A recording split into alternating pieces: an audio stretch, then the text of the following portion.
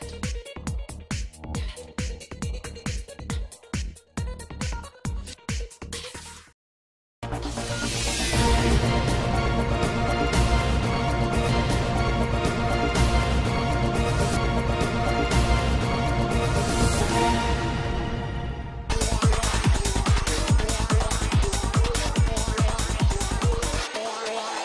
उपायुक्त हरिकेश मीणा की अध्यक्षता में साप्ताहिक समीक्षा बैठक का आयोजन किया गया। इसमें जिला स्तर पर सभी प्रशासनिक व विभागीय उच्च अधिकारी उपस्थित रहे। उपायुक्त ने कहा कि इस बैठक के आयोजन का मुख्य उद्देश्य सभी विभागों के आपसी समन्वय से विभिन्न कार्यों को गति प्रदान करना है। उन्होंने कहा कि प्रत्येक सोमवार को नियमित तौर पर इस बैठक, मंडे मीटिंग का आयोजन कर जनता से सीधे जुड़े मुद्दों तथा विभिन्न विभागों के माध्यम से होने वाले विकास कार्यों की समीक्षा की जाएगी। उन्होंने कहा कि इससे विभागीय कार्यों में तेज़ी आएगी और एक दूसरे के सहयोग से कार्य निष्पादित हो जाने से इसमें अनावश्यक देरी से भी बचा जा सकेगा।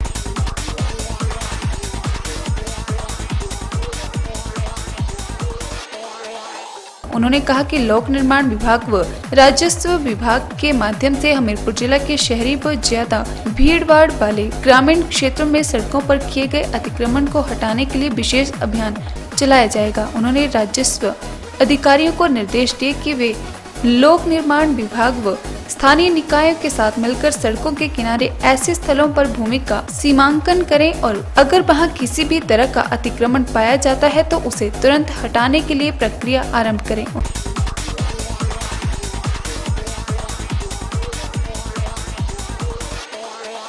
उन्होंने नगर परिषद हमीरपुर सहित सभी स्थानीय निकायों से भी आग्रह किया है कि वे शहर से रेडी फड़ी के लिए निर्धारित स्थानों के बजाय स्थानीय बाज़ार में अतिक्रमण करने वालों के विरुद्ध आवश्यक कार्रवाई अमल में लाएँ।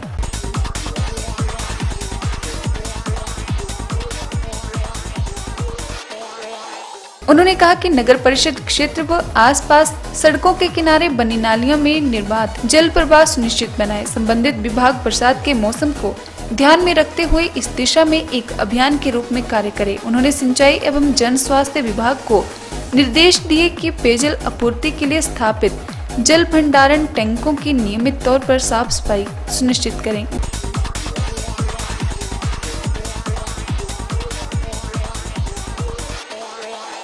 उन्होंने कहा कि बरसात के मौसम में पौधारोपण के लिए वन विभाग अन्य विभागों के साथ मिलकर कार्य योजना तैयार करे ताकि हरित क्षेत्र को बढ़ाया जा सके और भूमि संरक्षण की दिशा में भी प्रगति हो सके।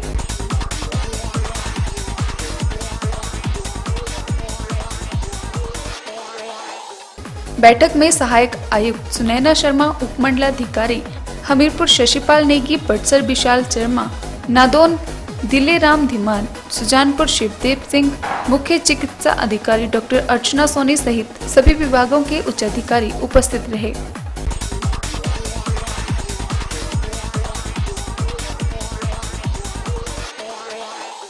जहाँ पूरे प्रदेश भर में अस्पतालों में मेडिपर्सन एक्ट के लिए डॉक्टर पेन डाउन हड़ताल पर रहे, वहीं हमीरपुर में मेडिकल कॉलेज में आज मरीजों को कुछ राहत मिल सकी, क्योंकि हमीरपुर मेडिकल कॉलेज में पेन डाउन हड़ताल नहीं की गई, जिस कारण डॉक्टरों ने सुबह से ही मरीजों के लिए सेवाएँ दी। नए मेडिकल कॉलेज होने के चलते पेन डाउन हड़ताल के समय रहते सूचना नहीं दिए जाने से हड़ताल टाली गई है, जिसे आगामी कल किया जाएगा।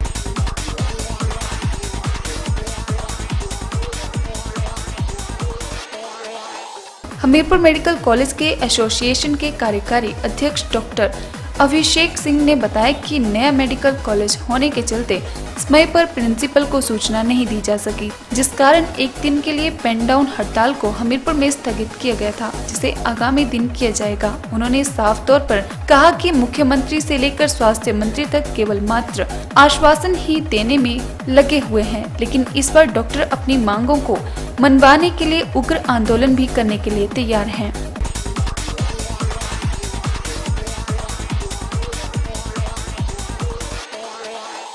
आपको बता दें कि प्रदेश मंडी जिला में महिला डॉक्टर के साथ मारपीट से लेकर घुमारवी में बीएमओ के सस्पेंड करने के मामले पर प्रदेश भर के डॉक्टरों में रोष पनपा हुआ है। इसी के चलते गत दिवस भी डॉक्टरों ने ब्लैक टैग लगाकर प्रदर्शन किया था, लेकिन हमीरपुर मेडिकल कॉलेज में प्रिंसिपल को सूचना टाइम पर नहीं दिए जाने के चलते दो घंटे की पेन डाउन हड़ताल नहीं हो सकी है।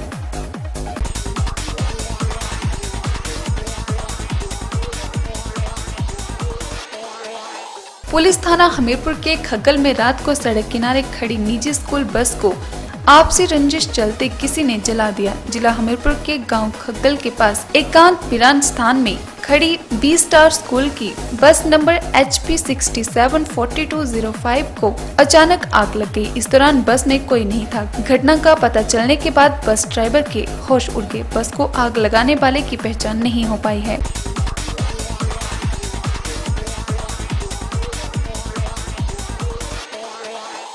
जानकारी के मुताबिक, एक निजी स्कूल बस जो ड्राइवर के घर के बाहर खड़ी थी, उसको किसी ने आग लगा दी, जिससे बस पूरी तरह से जलकर राख हो चुकी है। जैसे ही सुबह साढ़े पाँच बजे ग्रामीणों ने बस से धुआँ निकलता देखा तो उन्होंने बस ड्राइवर को सूचना दी। उन्होंने जल्दी से अग्निशमन विभाग को आग की जानकारी दी। विभाग ने जल्दी से मौके पर पहुंचकर बस की आग को आगे बढ़ने से रोका, जिससे आसपास के साथ लगते घरों का बचाव हो गया। वहीं पुलिस ने घटना की सूचना मिलने के बाद मामला दर्ज कर जाँच शुरू कर दी है।